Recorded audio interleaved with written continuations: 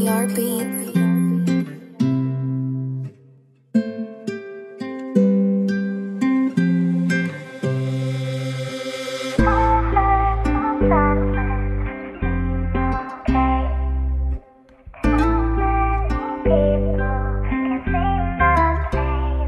Baby, on the fuck bao nhiêu money Trong nhà văn của ba má anh làm đau lòng ba già Nơi mà anh từng khăn gói đi và không hề ăn, nói chi Về trận bánh đã làm bay căn nhà. Hai tour baccarat, anh từng nơi mình hên. Đã bộ thì vé xem vận may của anh như nào. Ai ngờ năm cọc đi mà không kịp nói câu chào. Chơi là chơi phải căng nên anh lại dấn sâu vào.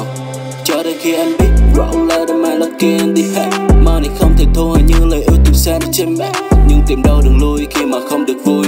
Đưa miệng tay vào xoay thời biên để mong làm giàu em rock cho anh thêm một ly cồn đi.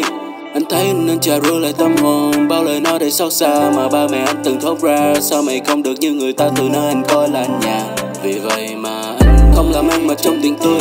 Liên tục try hạt mong thành công mà trong chuyện vui cười. Anh chỉ muốn đòi công bằng, Tìm cái nơi để phóng thân. Bởi vì anh từng khô hàng trăm lần, nhưng người ta vẫn so là không bằng. Vì vậy mà kiếm tiền Làm hợp đồng chui với bao công việc Để khẳng định anh với ông ba già. Rồi về lại quê để xây căn nhà. Nhiều lần là anh ở các chợ mấy cây bẹp Mặc dù bị thay sẽ có ngày cánh tay liệt, Nhưng mà em ơi, Qua hàng trăm ngày đêm trôi, Anh chỉ đang sao che để kiếm tiền xây nhà cho ba bố You quê người đâu tao xa cơ Nhà thì vỡ nợ. Con người nào tới nhà tìm ba và trốn lên gác cho đỡ sợ. Cái tuổi còn lỡ cỡ đang mấy roi của cuộc đời. Nên giờ ta không còn bỡ ngỡ Bài nhạc tồn tại ta thuộc lời. Và cho đến lúc mà tao 13 Đời là chặt tao nát thở. Thì còn chưa kịp nhìn thấy bến sông gió lại đẩy tao xa bờ. Không êm đẹp như người ta, Cũng không êm đềm như những lời ca. Nữa Thằng nào mà đạo đứng trả thứ mày là tao ngon ra đỡ. Đừng đứng đó cho tay chỉ trích, Hay mở miệng ra công kích tao. Tao biết là tao có làm thế nào Thì mày cũng sẽ không thích tao.